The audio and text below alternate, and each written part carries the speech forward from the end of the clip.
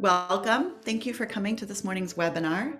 My name is Mary Kat Boyette. I'm the program administrator here at MIT with the MIT Nord Anglia collaboration. As you all know, this is a professional development webinar, and we are absolutely thrilled to have some really wonderful guests who may be familiar to you here this morning. Um, most of all, thank you for joining. We know that you're really busy and you have a lot going on as teachers wherever you may be in the world um, at various times of the day. So thank you so much for coming to join us. I'd love to introduce my guests. You all will probably recognize Caroline Ummenhofer. She is um, a physical oceanographer and a professor in the MIT Woods Hole Joint Program. She is with Svenja Ryan, who is a postdoc at um, in the program at WHOI. So we call Woods Hole Oceanographic Institute WHOI. Um, Caroline was a recent MIT expert in our extreme weather challenges, so she's probably familiar to you and your students. And um, Svenja does work with marine heat waves. Deb Ehrens is an artist in Massachusetts. Um, she's in um, Dartmouth, Massachusetts, and is joining us from her studio. So thank you all so much for being here. So I will go ahead and hand things over to um, Caroline and Svenja, who are together, as you can see, at Woods Hole, and they'll take it away, and then we'll hear from um, Deb after them. So thank you all. Yeah, hello everyone. Um, thank you for coming today. Um, it's a pleasure to give you some insights into our wonderful art and science collaboration. Um, this is just uh, a photo from uh, the three of us last year on our first exhibition. And on the top, you see these five close-up um, shots that are um, from these 3D marine heatwave panels that um, Deb created throughout um, our collaboration. And we'll refer back to them um, throughout the talk. And um, as Mary Kat introduced, this is about marine heat waves, and um, I'll explain in a couple of slides what um, these marine heat waves are. So I wanted to give you uh, just a brief overview um, of my scientific journey, which actually started um, in Kiel, Germany, where I did my bachelor's and master's in climate physics. I then moved to a polar research institution in Germany to do my PhD in physical oceanography, which brought me to Antarctica on several research cruises, where I used various observational instruments, um, such as lowered instruments um, from ships, moored instruments, but even marine mammals um, to use data, um, to collect data um, to study warm water transport toward the Antarctic um, continent. Um, since 2019, I'm a postdoctoral researcher at the Woods Oceanographic Institution and mainly use computer simulations of the ocean to study the 3D structure of marine heat waves. So I wasn't going to talk a lot about my science in detail, um, and give you more of an overview of our collaboration. But then I realized that that's actually how our collaboration started. So we really took the time um, for me to explain my science in a um, in a comprehensive way to Deb, and Deb was a very careful listener and kind of had to soak it all in um, in the beginning. So as you all know, the ocean is getting warmer, and we know that um, by observing the surface ocean with um, satellites. And since the early 80s, um, we, we therefore have a, have a good um, coverage of the global ocean. And here you see um, a time series of the global, global averaged um, sea surface temperature. And there's some variability, but we have this overall warming trend. We can look at this in a spatial sense. Again, the satellites give us this global coverage. And wherever the, the colors are red, we, the ocean is warming, which is almost in the entire global ocean. There's only very few regions where there's a slight cooling trend where these bluish colors are. And as you can imagine, these warming temperatures, they pose an increased risk to the ecosystem. And this is where marine heat waves come into play. Um, and I'll quickly um, introduce what these events are. So we can look at a synthetic time series of sea surface temperature. And on the left, um, of this dashed line, you, you see a stationary climate, which means there's no trend. There's just some variability about a mean.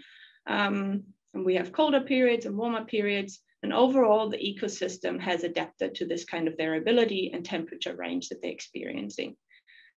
Every now and then, the temperatures exceed a threshold that we can derive statistically.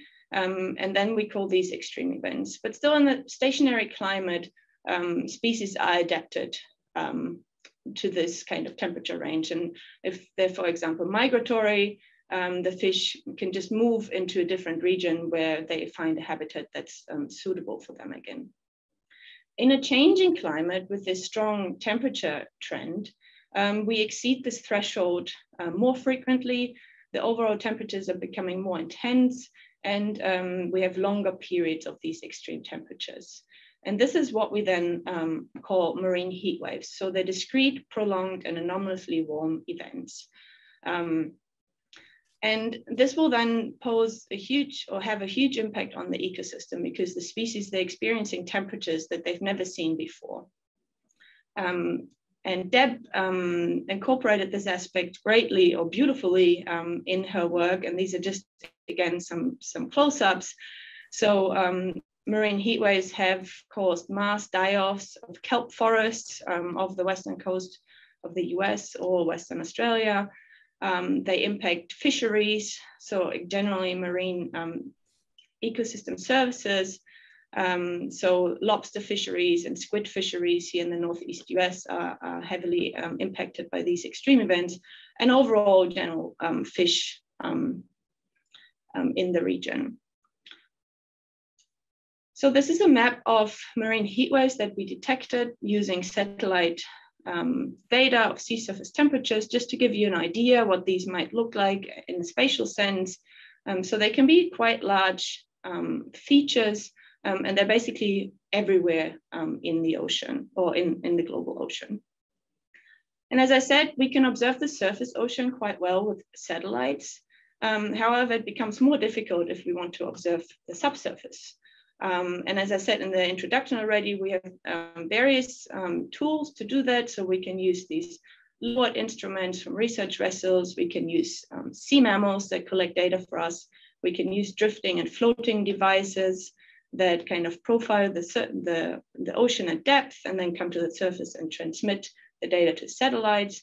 And we can also use autonomous vehicles that kind of zigzag through the ocean and collect data for us but still subsurface observations are sparse in space and time. And this is why we use computer simulations um, to then estimate of, they can estimate the global um, ocean circulation and how it changes through time. And they allow us to do more comprehensive analysis of certain features such as marine heat waves.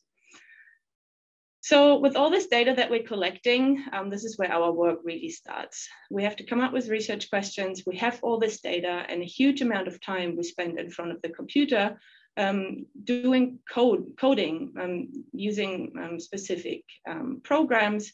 And um, we have to read in the data into the computer. We have to manipulate it, process it, do our analyses, and ultimately visualize our data because we need to convey um, our message and our results in a way that other researchers can understand it. So we come up with a whole bunch of different plots, uh, visualizations of our data um, that we then have to combine into a story um, to again write scientific papers or give presentations um, to our audience. Um, and so in the end, it's the art of storytelling. And this is a, a, big parallel that we found between Deb's work and our work, we have a motivation or an initial question that we want to address. Um, in our case, it's the impact of marine heat waves. What can we learn about the physical mechanisms that drive these marine heat waves? We then collect data or have to see what kind of data is out there already. We use code to manipulate the data, to visualize it. And then we get results such as when did a marine heat wave occur? Where was it? Um, how intense was it? And these res results have then to be kind of analyzed or interpreted in a way that we they can answer our initial research questions. And Deb did a magnificent job incorporate um, all these different aspects of our work in these 3D um, marine heat wave panels, um, and they are telling their own story um, by themselves. Um, and with that, I'm handing over to Caroline. Hi, everyone. Thanks for joining. Um, so I'll give a brief background of my um, research and um, research interests. So um, with an undergraduate uh, degree in marine biology and physical oceanography um, from the UK and a PhD in applied mathematics focusing on climate modeling, I've really been interested um, for a long time in the water cycle what makes a year be particularly dry, uh, how do rainfall patterns, how do they shift, what uh, causes droughts and floods on land, and how could we better understand and predict them. And it might sound curious why being interested in water resources and rainfall, uh, why I'm at an oceanographic institution rather than at um, an institute focusing on meteorology or uh, hydrology, for example. But it's not if you actually consider where all the water is. So on the right-hand uh, figure, and some of you will probably recognize that from the challenges. Um, this is a, an, a picture of the water cycle. And what really stands out if you just focus on the black numbers and the black boxes is where is all the water? 97% of all the water on Earth is in the oceans, and only a very small fraction is on land or in ice. And the atmosphere actually at any one point in time holds a tiny, tiny fraction of uh, the water. Um, and it only holds it for a very short amount of time. So water cycles through very quickly through the atmosphere. And um, that's not really where the memory lies. If we want to better understand or predict something about rainfall on land, we really need to look to the oceans because that's ultimately, no matter how far away from the ocean you are, ultimately the water has come from the oceans. And so I'm really interested in um, the water cycle and the ocean's role in that, um, and that transfer from ocean to land. Um, and I'm interested in extreme events, droughts and floods, for example. Um, and more so also um, in actually uh, research that is of relevance. When I was doing my PhD in Australia, um, they were going through a, a, terrible drought at the time. And um, I was talking to farmers and realizing how much how much the work that I was doing, trying to understand what drives droughts and floods, how much that mattered to people. And while it was for me, it was mostly of academic or scientific interest initially, seeing how much it actually matters to people, um, that really uh, was a very striking insight for me and something that uh, really determined um, my research directions in wanting to study something that is of relevance and that has an impact and that makes a difference to people. And um, with that, it's actually really important what uh, Svenja already um, alluded to, the storytelling and communication. Our research typically ends up in a scientific publication, a scientific journal article, um, and it's being read by our peers um, you might get some media attention if you're lucky with a uh, paper, but for the most part, that is where that information stays. And that is a shame because the research that we're doing can actually have impacts and can actually make a difference. And as talking to farmers really uh, brought that home to me, that is really where um, the, the key lies in communicating our research and we need to find creative ways of doing that. And that uh, with the work with deb has really um, brought that home uh, very clearly. And so i mentioned that i'm interested in droughts and floods so extreme events. And extreme events are by definition are rare. Um, if you want to understand something about the drought of the century or the one in a hundred year flood events having satellite records that go back 30 or 40 years is really not that uh, helpful. Um, they're great, they're wonderful, they give us global coverage, but they don't extend very far back in time. And so to understand something of extreme events that occur only occasionally, even though it might feel lately that they are occurring more often, which is probably true, um, we, we need very long records. And for that, we need good data that extends further back in time. And Svenja already talked about the challenges that we face when we're looking at um, observational data underneath the ocean surface going back in time, but it's not that different actually in, in the atmosphere. So here we're looking at a um, time series of um, the various networks and various tools that we use to observe um, the atmospheric circulation, uh, heat uh, transport, moisture transport in the atmosphere.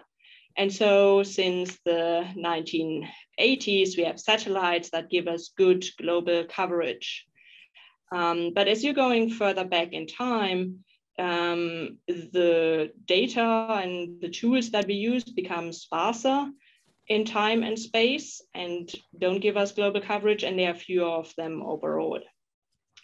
And so uh, my research tries to extend this even further back in time because um, extreme events are rare uh, by definition. And so we have this mix of observation um, and it's very limited prior to the satellite era and that creates challenges. So what can we do?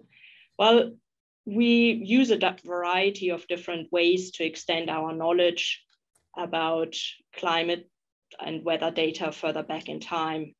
Um, Svenja already mentioned computer simulations um, of the ocean or the atmosphere. So these are one tool uh, to use. Another one are environmental archives. So uh, tree rings, for example, trees, when they grow well, when the climate is good, uh, in a particular year, they might grow a lot and have a very wide ring. When it's dry and hot and they don't grow well, they might only put down a very small, narrow ring. And we can track that back in time. Um, other environmental archives are stalagmites from caves, for example, that also, when it rains a lot, there's a lot of water dripping down into the cave and the stalagmite can grow a lot, or when it experiences drought, there might not be any water coming down and uh, no growth occurring. Similar corals also uh, put down growth rings, um, similar to trees and so on. And so I work with paleoclimate scientists that study and go into caves and dive to um, get the coral uh, cores and analyze them and try to uh, make a picture of uh, these uh, records further back in time. And most recently, I've also started working with a historian to actually look at weather information from historic records. So um, ship logbooks contain um, very detailed information about uh, the weather they were encountering, in particular about wind conditions. And one um, set of um, tools that we are actually using are whaling ship logbooks out of New England whaling ports that um, the whalers of the 1800s back to the late 1700s went all over the world uh, to catch whales. And a unique aspect of that is that uh, they actually went to areas where shipping and merchant um, and navy ships uh, in the 1800s would not necessarily go. So they were far away from the shipping routes because they went where the whales uh, went. And so what you can see on this map that goes back to 1935, each dot here is a whale that was caught. And so uh, the red uh, represents sperm whales, the blue dots are right whales. And you can see that even the farthest, remotest ocean areas were actually covered because the whalers went there because that is where they caught the whales. And so this provides us with a unique set of documents and weather, maritime weather observations that extends our knowledge from what we know from satellites, for example, uh, back by centuries. But all this information is relatively disparate. Uh, we have all these different puzzle pieces, if you want. And we really need to bring them all together and try to spot patterns, try to um, fill in blanks that um, are existing between these very disparate observations that we have in space and time. And um, that brought home some of the parallels in a way that we've seen as we were embarking with this project with Deb between science and art. And in a way, there are a lot of um, similarities we've discovered. Um, we also, our tools might be different, but the process we go through is relatively uh, similar or analogous in, in certain ways. Um, we might be doing experiments in a different way. We might be in the science world, we might be experimenting with computer models, while an artist might be experimenting with uh, form or media, different media or um, style, testing color palettes. We are running a computer simulation of testing our hypothesis there. So, um, but also we need to make, um, fill in the gaps that we have in all our data that requires a lot of physical intuition to a certain degree, but a lot of creativity and imagination as well, as we draw a mental picture in a way of how the atmospheric circulation or how ocean circulation works. And so, in a way, there are a lot of parallels. And while I overall, as we were embarking on this project, was pretty sure that the outcome uh, would be well worth the um, time and effort in um, embarking on this, what I hadn't realized is how much talking with Deb and thinking about this project would actually tell me about my own science and how much it would actually inform and uh, improve my research because it made me question things that I hadn't thought about before about process. And what I certainly didn't expect was how much fun it would actually be along the way. So it's been uh, really great. And um, with that, I'm going to hand over uh, to Deb um, to talk about her um, perspective on this. Well, good morning, everybody. Um, wherever you are in the world, I am really delighted to be here with you and uh, and to talk about this collaboration. It's been a really unique and wonderful opportunity for me. Um, unlike Caroline and Svenja, uh, I've elected not to use slides during my presentation because I would like to proceed like this is an artist talk, uh, invite you here into my studio. Um, where we can sort of feel like we're face to face, even though we're scattered around the globe.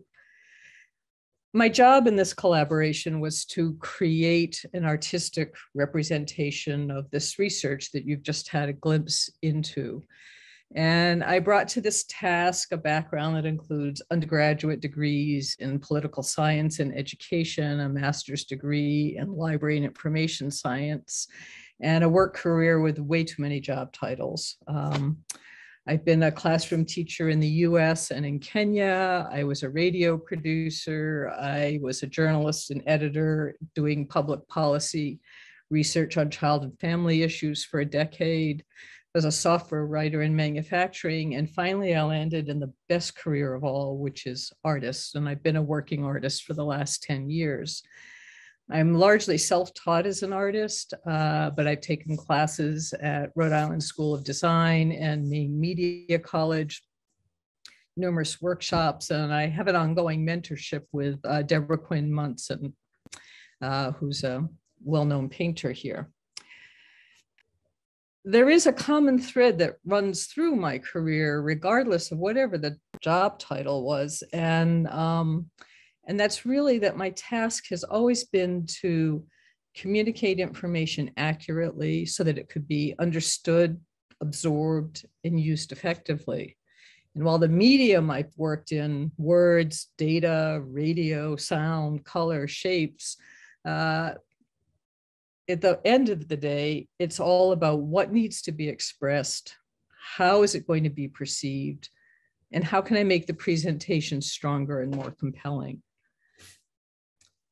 Being part of this collaboration uh, has been a real gift to me as an artist and as a human being. It gave me a way to engage with science on a much deeper level than I had in a really long time.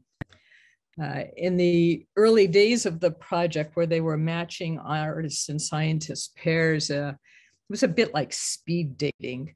Uh, but I knew that I really wanted to work with Caroline and Svenja because their research has such a connection to my community here in Dartmouth and New Bedford, Massachusetts, both its history and its economic vitality one of the upsides of the project was that it began just as the pandemic was taking hold. And what that meant was that the initial exhibit plans totally fell apart.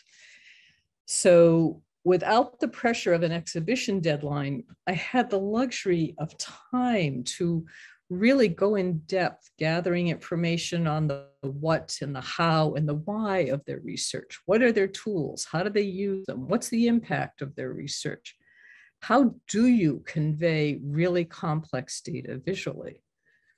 They sent me articles and books and podcasts to help me understand their work. And we had far ranging discussions, as Caroline said, on the similarity of our processes and how we both need creative and analytical thinking in our work. Having that luxury of time also meant that we had enough time to um, build a really good relationship so that I could really put my journalist hat on and really query deep on the why of what they do. Um, and I remember Caroline saying, No one's ever asked me that question before. But every good book, movie, photograph, or piece of art that it really engages us, it does so because it makes us feel something. And in order to create an artistic representation of the work, I really had to know the why, what motivated them. You may have noticed that in the um, poster for this webinar, the in the picture of me, I'm wearing a survival suit. And that is not the typical artist headshot you would expect. But I very deliberately chose to send that image to Mary Kat because I really feel that this collaboration has made me an explorer, just like my partner scientists are explorers of the physical world. This project has challenged and deepened my art practice in ways I never could have imagined. Once the research phase of the project was underway, my job became figuring out how to execute this uh, three dimensional kinetic form that I had no idea how to make. I can imagine easy, but execution. Oh. Prior to this work, most prior to this project, most of my work was two dimensional imagery in a frame, like you can see a little bit behind me on the wall here. But I really felt that to reflect Caroline and Svenja's work, whatever I made, it needed to be big because they deal with big ideas and big systems and big data, and it had to move, and it had to move in predictable and unpredictable ways. So I spent months experimenting and failing as I grappled with design and materials issues. Um, if I had been a sculptor by training, I might have had CAD CAM software that could help me visualize and problem solve. And if I had been a middle school or high school student, it would have been a great opportunity to learn math and physics and textile design principles. Um, but what I did have was lots of time, thanks to the pandemic.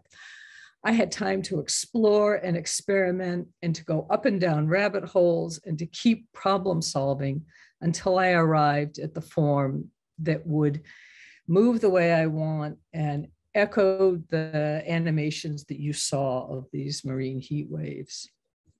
Our collaboration during this phase was kind of like um, teachers with a student doing independent study. I periodically sent Caroline and Svenja pictures of what I was working on. And when I was really struggling with issues of speed and rotation, Caroline even sent me a video from a car wash so I could see the spinning cloths, which was really pertinent to what I was working on. But once I finalized this heat wave form, our collaboration became more of a peer-to-peer model.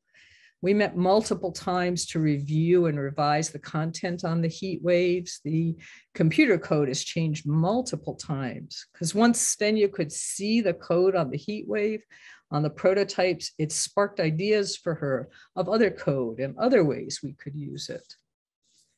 Another really important collaborative decision that we made was uh, about the narrative structure on the heat waves. Uh, there are five of them, and in the five prototypes, I've made only one that has a single story on it. Uh, it was about the heat wave off the California coast that destroyed the kelp forest. And some of the feedback we got on the project was that it would be better if each heat wave had only a single story. And clearly, this is the simple option. But we were all happily in real agreement that the issues are so layered, so complex, so interwoven and changeable that mixed storylines were a better reflection of their work and their research. Um, another collaborative uh, step in our journey together came about during the first preview exhibit for this project. Uh, I was on my way to deliver uh, prints, uh, studies that were from the heat waves that were going up on the wall, and Svenja and I were taking a walk, and it occurred to me that uh, not only had I not put a signature on these prints I was about to deliver and go, we're going to hang on the wall, but I had never even thought about signing the fabric sculptures. But once that thought entered my head, I realized that all of our names needed to be on this work. I would never have created this body of work without my partner scientists. So we have our first jointly signed artwork for a first for all of us. In turn, they wrote a grant to NASA to use satellite data in their research on marine heat waves and included a budget for artwork related to the project. Um, the exhibition schedule for this uh, Synergy project's back on track, and we have five exhibitions planned for 2022 and 2023. And as we go forward, uh, thinking about installations in bigger spaces, Caroline and Svenja are writing the content that will hang on water drops interspersed with the heat waves. Uh, this project has been a tremendous gift to me and I, I could talk for hours about it, but um, I think it's time to turn the conversation back to Mary Kat and hear what you have to say and hear your questions and how we might help you in your art, art and science collaborations. I would love for our our attendees to um, keep asking questions, and we have a few that we've received that I'll I'll kick off our discussion with. From the scientist perspective, Caroline and Svenja, what were your your goals in working with an artist? Um, like, why were you excited to enter this project as scientists and express your research with an artist? Um, yeah, I think um, Caroline um, spoke about it a little bit already in her presentation. I think it's really the the need and the desire to convey the results of our research and the urgency or the impact um, to a broader audience and the general public. It's good to write scientific papers, which you know might be read by our peer colleagues um, who are also physico-oceanographers. But ultimately, we're all experiencing climate change. We're all experiencing extreme events, droughts, floods, heat waves in the ocean, but also on land. And it's really important um, to find creative ways um, to connect to the general public um, and inform them about our research and why it matters and what we do, what tools we use. Um, and that for me was um, one of the biggest um, reasons to join the collaboration. Yeah, as, as I said, I think communication is key and um, finding lots of different ways and uh, different modes of uh, communicating results um, to a broader audience or an audience that we wouldn't otherwise reach, I think is is critical. And um, the the artwork uh, really does that in in a really wonderful way, um, and uh, can have um, impacts in um, addressing and um, conveying the science in a much more approachable and um, fun way than a dry scientific paper might do this. Deb, we have a lot of questions kind of related to an artist learning so much about science and integrating science in the work. One that really relates to our our audience is um, how do you encourage a busy art teacher to become inspired by science? So, you know, they an art teacher has their curriculum ready, they have a lot to go through. They might not naturally be inclined themselves to learn about science or they may be why should they work science into their curriculum and bring science to students through art? Well, I think education is about teaching anybody, students or adults, about how to think critically, how to communicate, how to solve problems. Um, and, you know, it, an art teacher doesn't have to dive deep into the science to give prompts that would start students thinking about that you know they don't have to understand about water chemistry to say well let's think about the ocean if it's getting hotter what does that mean? How do we represent color when it's hotter? How do we represent things that that are higher and lower? You know i think there are all kinds of simple ways to uh, incorporate that. I you know in my particular case, in this situation, uh, it was a real luxury that I had time to read and go very deep in this project. But I don't think, as a busy art teacher, I I think you can still incorporate all those things. I mean, in climate science and climate is the number one issue for everybody on the planet. So uh, well, no, that's my, when we turn the recording off, then I'll have a really quick, great answer for no, I think that's wonderful. I actually really like that you don't have to have all the answers or the knowledge about the topic. You can ask the question. Um, I think that's a really nice thing to remember for bringing bringing other topics in collaboration. Is the discovery is is part of the process. Um, and that takes us to another question. Really, this is for all of you. I'll, I'll start with um, Caroline and Svenja, and then we can move back to Deb. One of our um, guests wants to know Was there a particular moment when you realized the importance of collaborating with disciplines so different than your own? Did you have kind of aha moments or was it was it a gradual process throughout the entire project?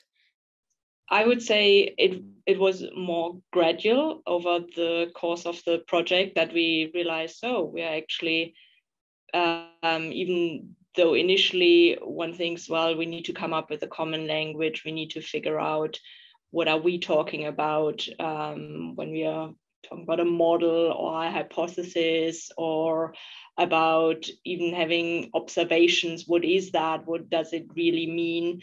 Um, so coming up with a common language initially um, was um, something but we pretty quickly realized that there are parallels when i think about um, coming up with a mental picture or coming up with a first view of this is how the circulation works or how it might have been changing that that isn't all that distinct from the processes that Deb goes through. Um, and so those were aspects that we realized as we are uh, going along. Um, yeah, and for me, um, kind of it was a gradual decision, but I actively made a decision to move um, research topic from my PhD to my postdoc because I wanted something that has more impact on the society. Um, working on marine heat waves, it was kind of a new topic because they popped up all over the world and had devastating impacts. Um, and so I started working on marine heat waves, and then I realized more and more you know, there's no point of me doing this research if I cannot communicate it or connect to um, people outside of science, to fishermen, um, communicate to the or talk to the public. Um, and so, um, yeah, that was kind of my gradual um, motivation or realization that um, projects like this are very valuable in our research. What about you, Deb? Did you have kind of a aha moment of collaboration or any anything that really shines out from the collaborative experience of this process? Um, well, this project synergy that we are part of, um, this is actually the second uh, round of synergy. In 2015, there was another collaboration of artists and scientists, and I saw that exhibit, uh, and I'll never forget. There was um, an exhibit by someone who had worked with a scientist and he had done all this videography of eelgrass. And as a kayaker, eelgrass is like a real pain in the butt. And I've never had a good attitude about eelgrass until I saw these videos. Um, so when uh, Art League of Rhode Island said they were going to do another round of the Synergy project, I was really thrilled and I was so excited and really hoping that it would work out. And um, so seeing the power of the first exhibit and and having seen the public react to this art and science collaboration, I I really was hoping that I could be part of it and could contribute something. And in this speed dating process that we went through, matching artists and scientists, um, the, one of the reasons I really wanted to work with Caroline and Svenja, aside from the connection to my community, was that both of them really expressed an awful lot of interest and skill already in struggling with how do I communicate my science. Um, Caroline had been uh, in a, a, museum exhibit uh, at Boston College on the Indian Ocean, and I spent a long time looking at the video of that exhibit and looking at her presentation, which was a video of the dynamics in the Indian Ocean and the monsoons and how it affects the drought in Australia. And, it, and I watched it over and over again, being really impressed with how that worked. It, it's a very complicated set of principles that are being explained, and it really did it. I was like, okay, this is a this is somebody who's already thinking like that. And and svenja had won an award for one of her posters she had presented at a conference. And posters are how scientists in this world present their work. They have to take all their research and put it in a 24 by 36 piece of paper on the wall and do it well enough that somebody's going to stop and pay attention and absorb something.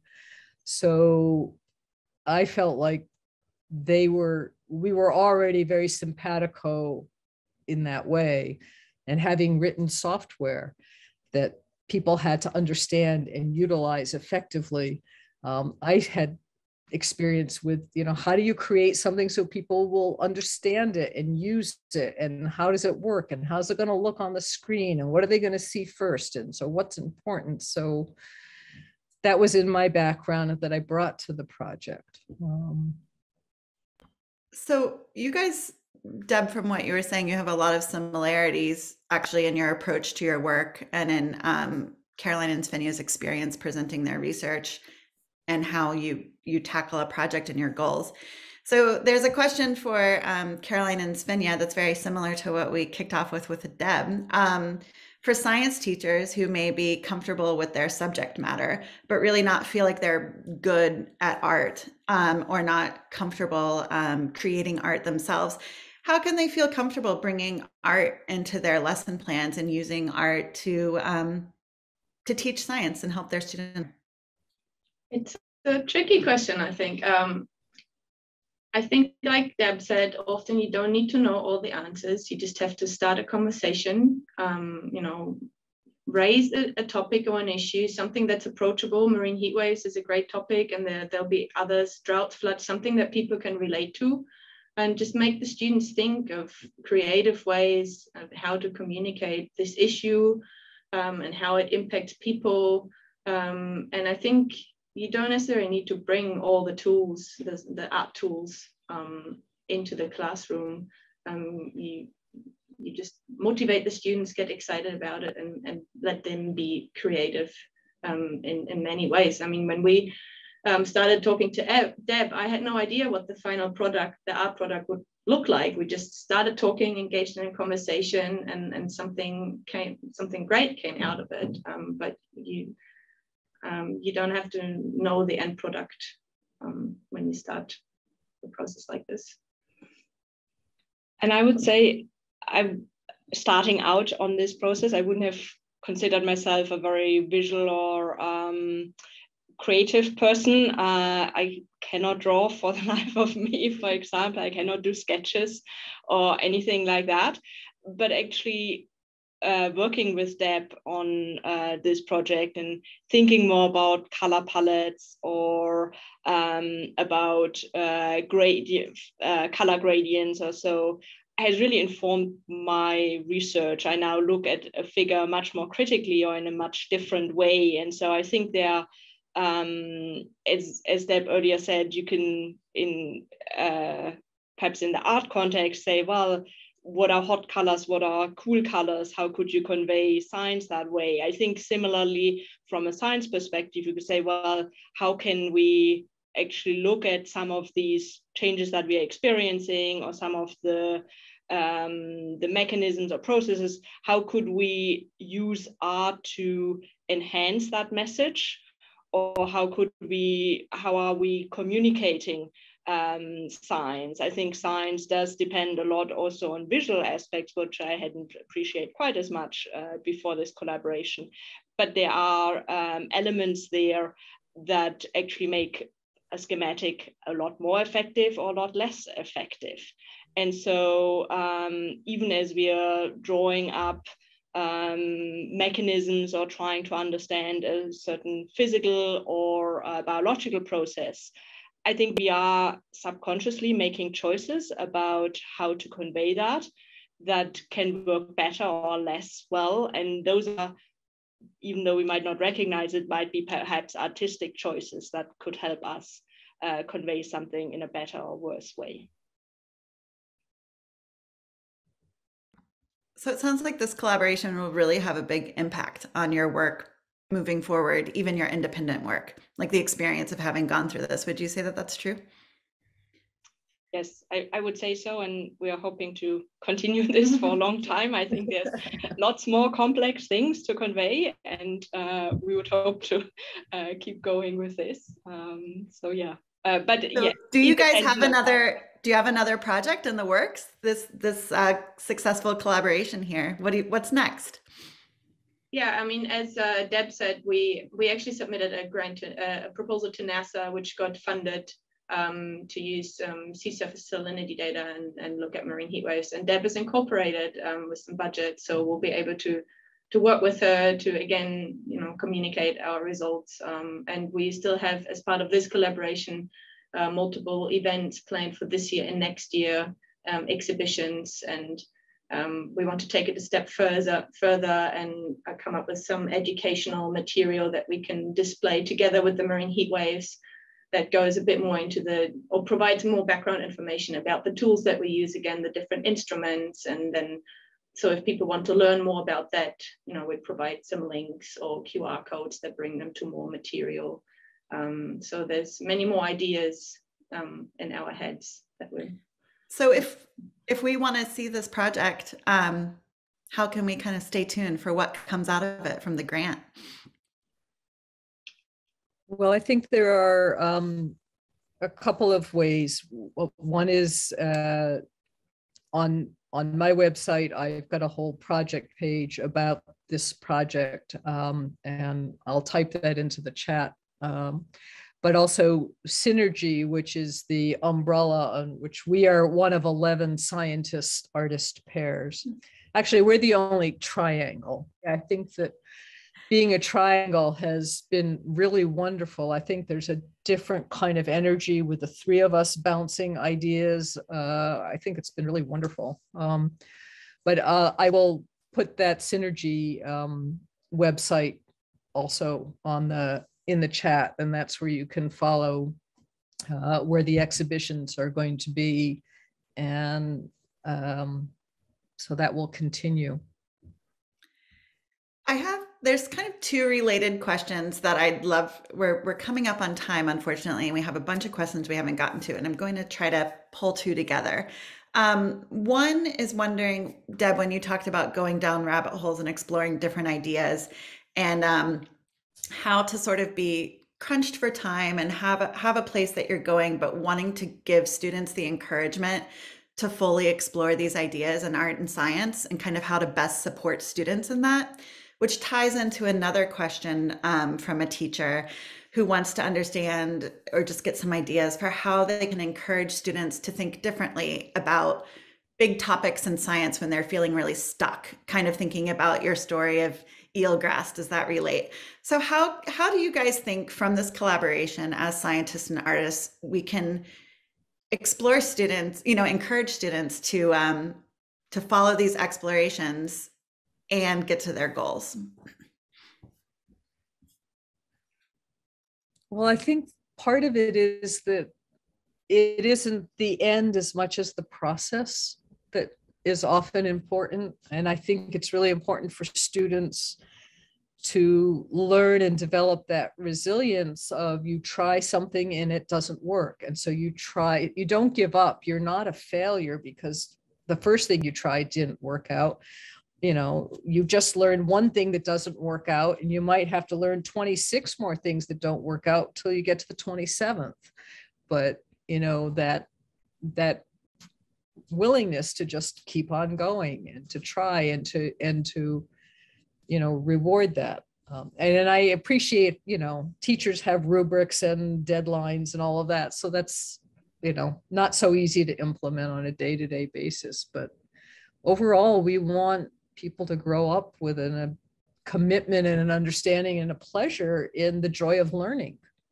And a big part of the joy of learning is failing you know because that's what you you got to learn what doesn't work till you get to what does work I think that's an important theme for us as scientists as well. We go down rabbit holes so many times.